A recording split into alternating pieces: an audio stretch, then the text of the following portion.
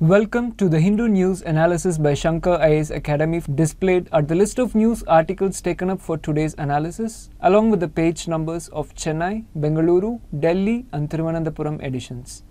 The handwritten notes in PDF format and the timestamping of the, all the news articles taken up for today's analysis is available in the description section below and also in the comment section for the benefit of the smartphone users. Let us now start our analysis. The first news article is about the continuation of President's rule in the state of Jammu and Kashmir.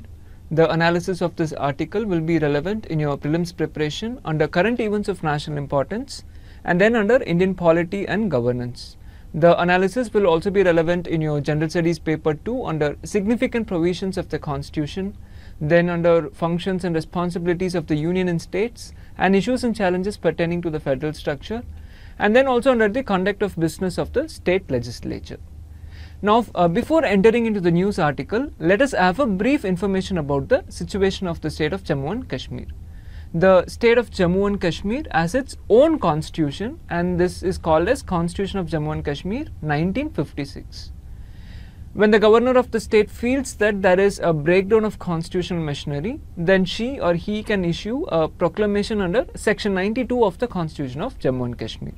The proclamation is issued to assume the functions of the government and the state legislature. Note that such proclamation can only be issued with the concurrence of the President of India.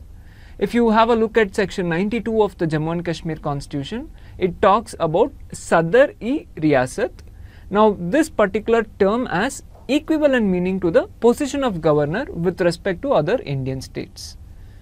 The proclamation issued by the governor will have effect uh, only for a period of 6 months. After 6 months, there is no provision for further continuation of such a proclamation under the Jammu and Kashmir constitution according to the section 92. Now, let us come to the recent scenario of Jammu and Kashmir.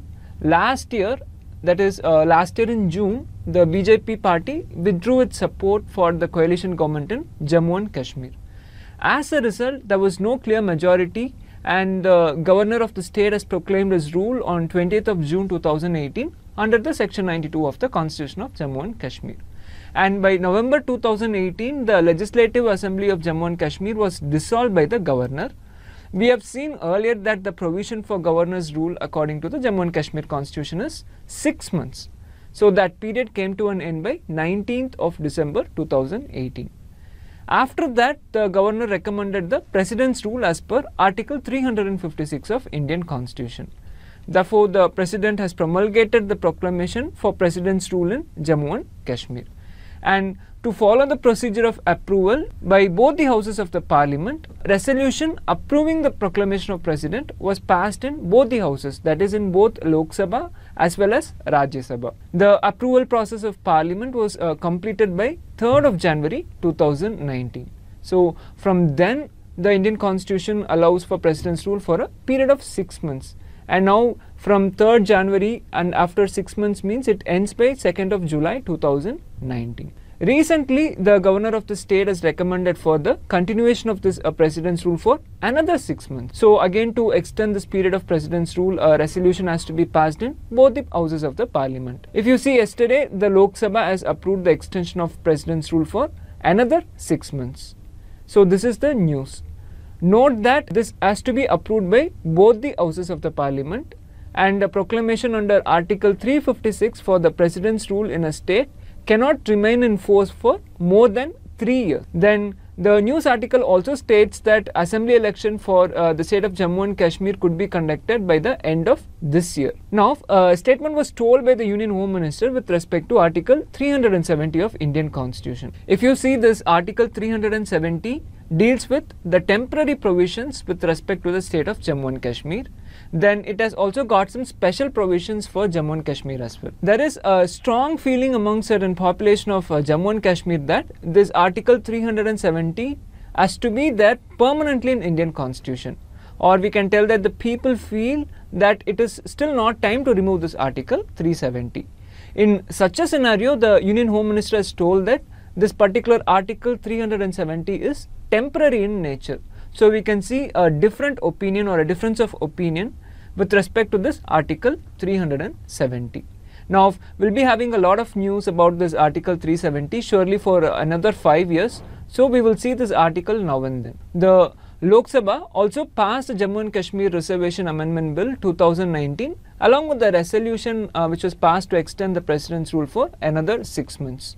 Now, let us see this amendment bill. This amendment bill was passed to replace an ordinance which was issued by the previous government. The bill also amends the Jammu and Kashmir Reservation Act of 2004. Now, the purpose of this bill is to extend the benefits of reservation to the people living adjoining the international border in the Jammu and Kashmir state, along with those living adjoining the actual line of control in the same state. Earlier, uh, these benefits were there only for those who were living adjoining to the actual line of control. Now, this extension was because the persons living alongside international border suffer from socio-economic backwardness and then also educational backwardness due to continuous cross-border tensions. Now, this Article 356 gives power to the Parliament to amend the laws enacted by the state legislature. This article provides for the exercise of powers of the legislature of the state of Jammu and Kashmir by the authority of the Parliament when the state is under the President's rule. Now have a look at the practice question. Let us move on to the next news article. Next, we shall see about G20 summit. There are two news articles on the same page related to this G20 summit. Now, the analysis of both these news articles will be relevant in your prelims preparation under current events of national and international importance. The analysis will also be relevant in your mains preparation under bilateral, regional, and global groupings and agreements involving India and or affecting India's interests and also effect of policies and politics of uh, developed countries on India's interests. Now G20 means the group of 20. This particular G20 grouping consists of 19 countries plus the European Union so totally 20. Now uh, know that India is a member of G20 grouping. Also from this statement we know that European Union is also a member of this G20 grouping. Now, you cannot remember the entire members in one go. Today, we shall be seeing some of the countries in the discussion. Now, as and when we get the news about G20, we shall cover the remaining countries also. If you see the G20 was started in the year 1999 as a meeting of finance ministers and central bank governors. Then in 2008, the first G20 leaders summit was held. This particular G20 group played a key role in responding to the global financial crisis because around this 2008 only the global financial crisis happened which started in USA. Now this group's coordination and the decisions boosted consumer and business confidence and that supported the first stages of economic recovery after this 2008 global financial crisis. So we can tell that G20 is a forum for international economic cooperation and decision making. Now, uh, the G20 leaders meet once in a year. This year they have met at Japan in the city of Osaka. So, we now know that Japan is also a member of this G20 group. So, so far from the news, we know that the members of G20 are European Union, India and Japan. The first news article is that on the sidelines of G20 summit, an informal meeting between the BRICS leaders have been held. Here, BRICS refers to Brazil, R for Russia, I for India, C for China and S for South Africa. So now you can see that four more countries are part of this uh, G20 grouping along with India, EU and Japan. The four countries are Brazil, Russia, China and South Africa. So, so far from the news, the members of G20 which we saw are European Union, Japan and BRICS and India is also included in this BRICS. Now let us see the news article. In this informal BRICS leaders meeting, the Indian Prime Minister has spoken on three challenges. The first challenge is the instability that is seen in the global economy, which is leading to a slowed growth. The Prime Minister has told that unilateralism and competitiveness are overshadowing the rule based multilateral global trade systems. Here, it just means to tell that the World Trade Organization needs to be strengthened further. If you see, the Prime Minister has indirectly mentioned the ongoing trade tensions between China and USA by mentioning the words unilateralism and competitiveness. The second challenge which the Prime Minister has mentioned is to make the development a sustainable and an all inclusive one such that the development reaches all the sections of the society. The Prime Minister has mentioned terrorism as the third major challenge he has told that terrorism not only kills the innocent people but also affects the economic development and the stability of the societies in which uh, the people live very severely. So you can mention the challenges in any of your main answers quoting the Prime Minister and the summit name. Now there is one more news article on the same page which is titled on 5G and data storage India aligns with developing nations. This news tells that India and United States came closer on resolving the trade issues between them but India differed in opinions related to technological issues such as uh, data storage and 5G network. So from this news article we can see that USA is also a member of this G20 grouping. So far even without listing the G20 uh, members, we are in a position to remember at least 8 countries now. The countries are EU, Japan, BRICS countries and USA. If you see after the informal BRICS meeting, the BRICS grouping has released a statement telling that uh, BRICS is committed to transparent, non-discriminatory, open, free and inclusive international trade. And then the statement also tells that protectionism and unilateralism run counter or against the spirit and rules of the World Trade Organization. The BRICS grouping also recognizes the importance of the interface that is the relation between the trade and the digital economy. At the same time, BRICS also affirms the role of data for the economic development. So, we can see from the BRICS statement that India is stressing the need for framing rules on data within the World Trade Organization and not at this G20 summit. If you see, uh, Japan started an initiative as the host of this year's G20 summit, which is named as Data Free Flow with Trust. Japan announced this initiative in January this year, that is in January 2019 especially after the Reserve Bank of India's guidelines which made the storage of all financial data including by the multinational companies to be mandatorily to be kept on servers in India. It is nothing but data localization of all the financial data within India. Now this move by RBI was protested from major companies such as uh, Google, MasterCard, Visa and Amazon. This has also increased the trade tensions between India and USA in addition to various issues like GSP, S-400 missile deal and also tariff related issues. The United States administration called this decision by RBI as a major non-tariff barrier. Next, the news article discusses about 5G technology. If you see, India's plan to introduce 5G technology by September this year, but it is likely to be postponed. But even before this, if you see the United States is asking India and other countries to ban the Chinese telecom major which is named Huawei from allowing access and conducting trials because United States thinks that Huawei will spy on America because this Huawei belongs to China. But in the meeting between India and USA, India has not given any assurances. If at all India thinks to ban Huawei from conducting trials in India, then China would protest against the move and it would affect the India-China bilateral relations. Next, uh, there are some opinions given in the same news article. The first opinion is given by the former cyber security chief, Mr. Gulshan Rai. He has insisted on collaboration in developing the 5G technology since uh, USA has not yet developed the complete technological infrastructure for 5G. Next, there is an opinion by India's uh, National Security Advisory Board Chairman, Mr. P.S. Raghavan he has told that 5G is becoming a fault line. Fault line is nothing but a difference of opinion in the technology cold war between the world powers. Here he means that is uh, between the countries of USA and China. He has also said that India must get avoiding caught in the US-China telecom issue. Next, uh, the Foreign Secretary of India has uh, given a report in this report, he has told that the Indian Prime Minister has conveyed to the US President certain things.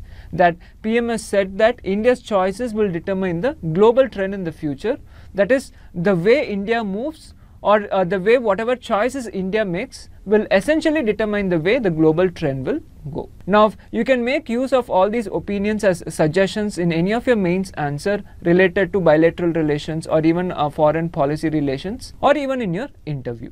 Now have a look at the practice question. Let us move on to the next news article. This news article is about the higher education policy. The analysis of this article will be relevant in your prelims preparation under current events of national importance and also under public policy. The analysis will also be relevant in your mains preparation under government policies and interventions for development in various sectors, then also under issues relating to development and management of uh, social sector services particularly with respect to education in your general studies paper 2. The news article discusses about the new initiative by the government in accordance with the decision of the Prime Minister. The decision was finalizing a five-year vision plan for each ministry. So, based on this, the Department of Higher Education, which comes under the Ministry of uh, Human Resources and Development, has finalized and released a report on a five-year vision plan. Now, this plan is to improve the quality and accessibility of higher education in India. The vision plan is named as EQUIP which is the acronym for Education Quality Upgradation and Inclusion Program. Now, this report has been prepared after a detailed exercise done by the experts covering 10 areas. The 10 areas are strategies for uh, expanding access to higher education, strategies towards global best teaching practices and learning process, then promoting excellence, then required governance reforms, then assessment, accreditation and ranking systems, next promotion of research and innovation, next employability and entrepreneurship, then using technology for better reach, next is uh, internationalization and finally financing higher education. So now let us see about this new plan EQUIP. We saw that EQUIP is the acronym for Education Quality Upgradation and Inclusion Program. This is the central government's endeavor towards guiding transformations in India's higher education system. This will be carried out by implementing strategic interventions in the sector over a period of 5 years. Now 5 years means starting from the year 2019 till 2024. The plan will be implemented uh, with the vision to achieve quality, inclusivity and excellence in higher education, next to empower institutions, then to contribute significantly towards fueling the nation's progress. This plan has been devised to give a multi-pronged boost to the higher education system in India. Here a multi-pronged means having several distinct aspects or elements and together they will contribute towards uh, the higher education development in India. Now this is for making the higher education system in India to be ranked among the global best then also to bring a transformational change in the system over the next 5 years. The experts have suggested more than 50 initiatives and these uh, 50 initiatives that would uh, transform the higher education sector completely. The following goals have been set for uh, transforming the higher education sector in India. First is to double the gross enrollment ratio in higher education and to resolve the geographically and socially skewed or biased access to higher education institutions in India. So, here we have seen a term gross enrollment ratio. The gross enrollment ratio determines the number of students enrolled in school at several different grade levels. It is the total enrollment in a specific level of education which is regardless of age. So, it is expressed as a percentage of the eligible official school age population corresponding to the same level of education in a given school year. The school age population is the population of the age group which officially corresponds to the relevant level of education. The gross enrollment ratio in higher education in India is calculated for the age group of 18 to 23 years. So 18 is the year where one starts a their uh, higher education. So roughly we can tell that at 18 years of age an individual starts his higher education. Now this gross enrollment ratio is widely used to show the general level of participation in higher education and also the capacity of higher education. Now uh, the second goal is to upgrade the quality of education to global standards. Then the third one is uh, to position at least 50 Indian institutions among the top 1000 global universities and the next goal is to introduce governance reforms in higher education for well administered campuses. Then the next goal is to ensure the accreditation of all institutions as an assurance of quality. And then the next goal is to promote research and innovation ecosystems in India. Now, uh, this is for positioning India in the top three countries of the world in matters of knowledge creation. Then we have the goal to double the employability of the students who are passing out of higher education. Then we also have a goal to harness the education technology for expanding the reach of higher education and also for improving the pedagogy. Now know that pedagogy means to improve the method and practice of teaching. Then we also have a goal to promote India as a global study destination. And finally, the goal is to achieve a quantum increase in investment in the higher education.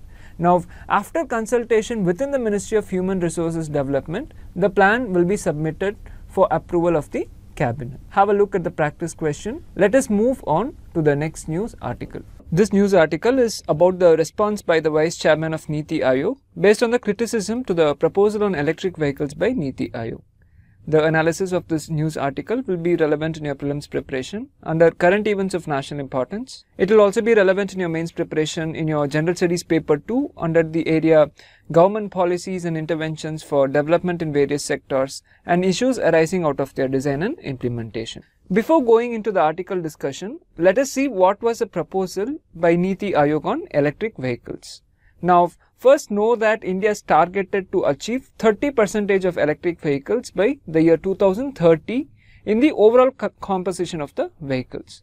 And uh, in the next five years, India is targeted to achieve 15 percentage. So, in order to achieve this target, Niti Aayog has proposed that only electric three-wheelers to be sold in the country only after uh, March 31st of 2023.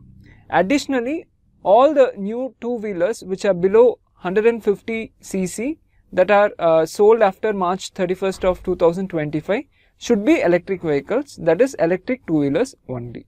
Now this proposal was highly criticized and opposed by the motor vehicle industry. They call this proposal of a transition to electric vehicles as unrealistic and ill-timed. Here ill-timed means an announcement or a proposal which occurs at an inappropriate time the motor vehicle industry is saying that this proposal has come at an inappropriate time. This is because the motor vehicle industry feels that such a move will disrupt the automotive sector, which is already uh, stumbling under stress. This particular uh, stress is because the industry is already busy in meeting the Bharat Stage 6 or uh, what we call it as BS6 emissions deadline. This uh, BS6 emissions deadline comes into effect from April 2020. The BS6 norms is uh, related to the vehicle emissions and auto fuel quality if you see. Uh, we are already following the BS4 norms now and this uh, BS6 norms is an upgradation which will help in reducing the pollution caused by the motor vehicles. If you see this uh, BS6 norms uh, lists out certain conditions such as automobile fuel quality of uh, petrol, diesel, etc. And all the existing two-wheelers, three-wheelers and four-wheelers should be upgraded to the standards of BS6. Now, based on this 2020 deadline, the industry is already struggling to upgrade the vehicles.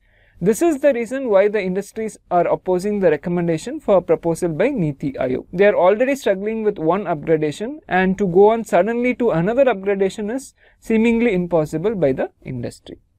For this uh, opposition, the vice chairman of uh, Niti Aayog has responded that the proposal was a well thought out policy. Then he has also added that the policy will help to capitalize on the sunrise industry and the two-wheeler makers should work with Niti Aayog for the realization of this policy. Here sunrise industry means a new and a growing industry and if you see this word is particularly used in the field of electronics or telecommunications. Here the vice chairman calls the electric vehicles industry as the sunrise industry. So he has argued that creation of a new policy on electric vehicles will attract more resources and investment. Then in order to achieve policy clarity, he wanted the industry to switch to electric vehicles rather than going to the upgradation of BS6 norms. He added that if uh, India does not have a policy or uh, does not have a target on electric vehicles, then India will not have domestic capacity with regard to electric vehicles. Hence, this will result in massive imports of the electric vehicles. If uh, India has to rely on imports for electric vehicles, then the domestic industries will automatically suffer. That is why the vice chairman is pushing for this new target. Now have a look at the practice question. Let us move on to the next news article. The final news article is uh, the editorial which is regarding the functioning of Reserve Bank of India. The analysis of this uh, editorial will be relevant in your prelims preparation under economic development and then in your mains preparation in your general studies paper 3 under Indian economy. Now in the first para of the editorial the author appreciates the role of the central banks of the world in ensuring the financial stability of their nations or countries. But he tells that even central banks need some of its own medicine which means some new ideas which will help changing the way how the central banks function. The reason why this editorial is written by this author is uh, because of the recent resignation of the deputy governor of RBI Though the Reserve Bank of India plays a very important role in the economy, the author tells that it does not mean that the RBI cannot be questioned about the way it is functioning now. So, in this editorial, the author has shared his ideas on how to innovate the way the central banks, especially how RBI must work. See, in India, the central bank is the Reserve Bank of India. So, whenever we tell central bank, just uh, remember it is RBI or the Reserve Bank of India. Now, the author tells that both the government and the RBI have together implemented a deflationary macroeconomic policy through fiscal contraction and monetary tightening, even though the media has focused on the problems between the RBI officials and the government. So, here what is meant by this deflationary monetary policy? Now, this uh, deflationary monetary policy can also be called as contractionary monetary policy. The policy will be carried out or implemented when there is inflation in the economy. So, here inflation means increase in the prices of all the items that we purchase and consume. So, in order to control the increase in prices which is the inflation, the government and the central banks come up with a deflationary monetary policy. So, the opposite of inflation is deflation and deflation means to reduce the prices. Now, in order to reduce the prices, the government generally reduces its spending or generally the banks increase their bank rates. So, when the government reduces its spending or expenditure, what we call, then we can tell that it is reducing the fiscal deficit or the government is aiming at fiscal contraction. And when the central banks including RBI increases the bank rate, it means that they are tightening their monetary policy. So, ultimately the aim is inflation targeting that is uh, focusing on maintaining the cost of prices. Let us come back to the editorial now. The author mentions about a term called Washington Consensus. Just know that a Washington Consensus means a set of economic ideas for the economic development of the developing nations. It was proposed by some of the developed nations. If you see this Washington consensus was adopted in the year 1989 and under this consensus there are 10 sets of recommendations if you see. The first set of recommendation is that the governments should maintain low inflation rates and low budget deficits such that the economy would be very stable. Here the author has described how the developing countries like India fell to this trap of Washington consensus. If you see 1990s was the time when India opened its economy to the outside world through the LPG reforms. LPG is nothing but liberalization, privatization and globalization. The author tells that this uh, Washington consensus worked for few years and everyone started believing that their economies were going very smooth. But this idea got derailed or you can tell that it got distracted or diverted in the form of global financial crisis in the year 2008. This global financial crisis started in the US, soon it spread across the world including India. Now because of this global financial crisis, the overall growth of the world slowed down and the unemployment levels rose in all the countries because many companies went bankrupt and had to shut down. So whenever we tell global financial crisis, just remember that the growth of the entire world slowed down and the unemployment levels were very high. Now Post this global financial crisis, the author tells that the economists started to think about macroeconomics in a very different way. Now, this term macroeconomics is nothing but the overall or the general economic factors. The main division to the macroeconomic policy was that the monetary policy defined by inflation targeting can no longer be treated as the centerpiece of macroeconomic policy because all the policy decisions uh, related to a country's economy was taken based on this inflation targeting. Now, instead of focusing on inflation, the fiscal policy should be used to stabilize the economy when needed because initially with the Washington consensus uh, was uh, focusing on inflation but uh, when the global financial crisis happened nothing happened to inflation so the economists are saying that instead of focusing on inflation what needs to be focused is the fiscal policy. Again now everyone is thinking that this uh, targeting of fiscal policy also does not seem to work well. Now the author is telling that the general consensus now is that there should be no going back to the pre-crisis practices like focusing on inflation targeting, on leaving out or moving away from the fiscal policy. Now, the author describes the Indian scenario that is about the, government of India and about the Reserve Bank of India. The author believes that the Reserve Bank of India and the government must consider the global macroeconomic changes. He tells that the government has taken credit for achieving the macroeconomic stability, but it was actually achieved by RBI. Even though the government claims that it has achieved macroeconomic stability, the author tells that the unemployment has been rising since the year 2011. Now, uh, we can see from this picture that the fiscal deficit has been reducing since uh, 2011 roughly. As uh, we can see from this formula, fiscal deficit refers to the borrowings and other liabilities of the government. So, it is the duty of the government to maintain the fiscal deficit that is the government should manage its expenditures and borrowings to manage the fiscal deficit. But if you see RBI is also helping the government plus it is constantly reminding the government that fiscal deficit targets should not be deviated at any costs even though it is not the duty of RBI. The author tells that RBI should focus on managing its own functions instead of guiding the government on fiscal deficit targets. Now, he has uh, mentioned two examples where RBI failed to manage. Since uh, 2013, the Reserve Bank of India has focused on inflation targeting. So, from this time period that is uh, from around 2013, the policy rates of RBI have risen a lot. Now, along with this, the formal sector, which means the businesses, started to borrow less. So, it means that they are investing less. If they are not getting money from the banks, they are not going to invest on their businesses.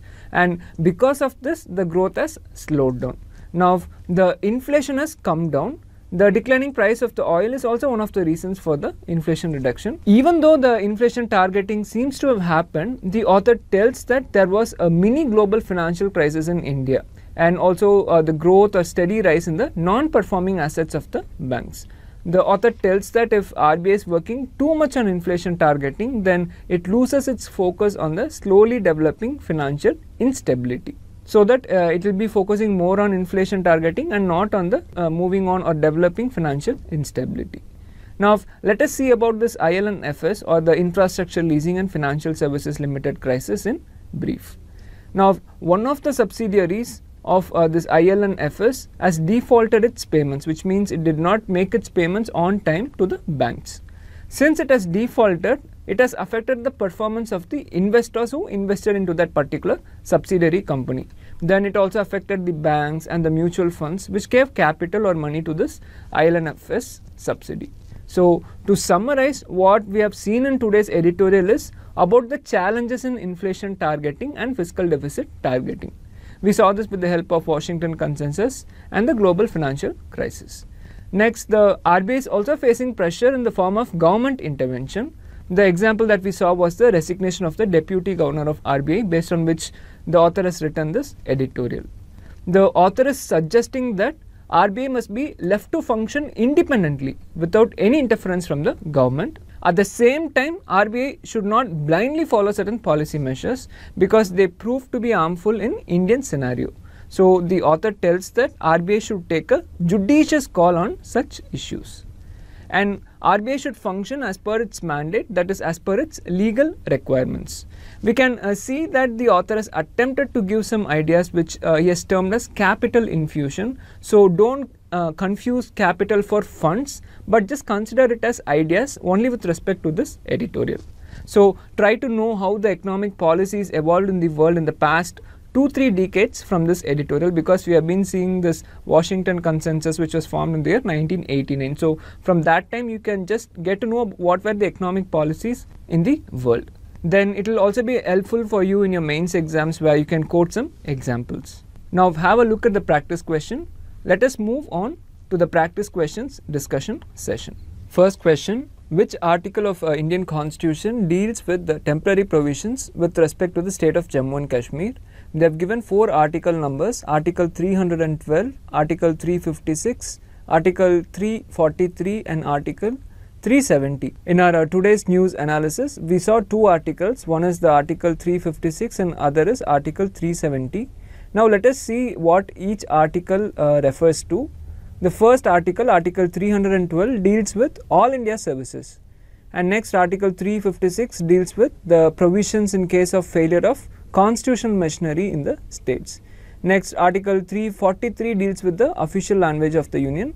And finally, Article 370 deals with the temporary provisions with uh, respect to the state of Jammu and Kashmir. So, here the correct answer is option D, Article 370. Now, try to know the remaining uh, articles also from exam point of view. Moving on to the next question. Who among the following are the members of G20 grouping? They have given four countries India, European Union, Japan, and South Africa.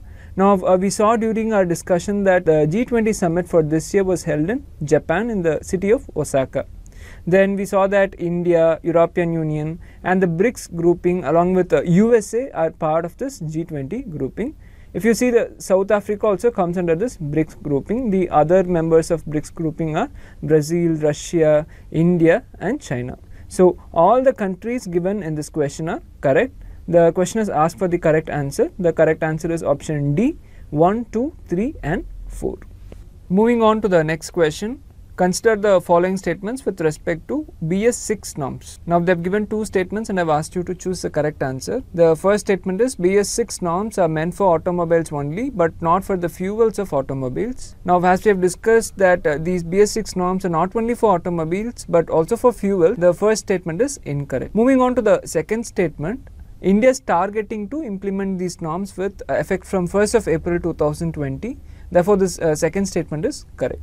So, here uh, the question is asked for the correct statements.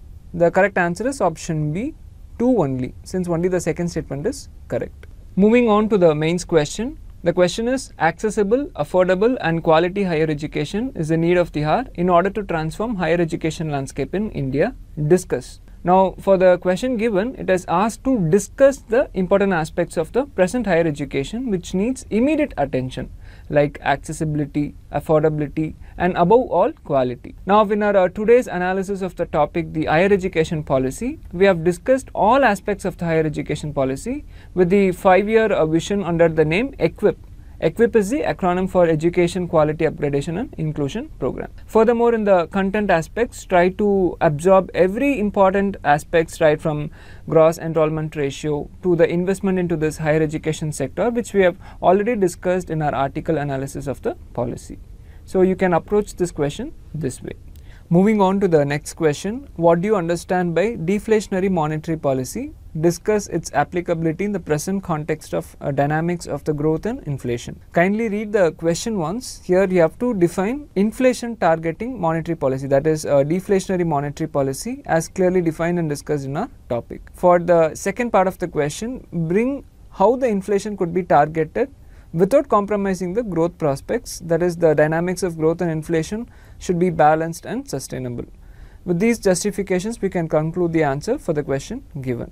With this, we come to the end of the analysis of all the news articles taken up for today's discussion and also the practice questions discussion session. Do like, comment and share the video and do subscribe to Shankar IAS Academy YouTube channel for latest videos and updates. Stay focused and motivated friends. Thank you.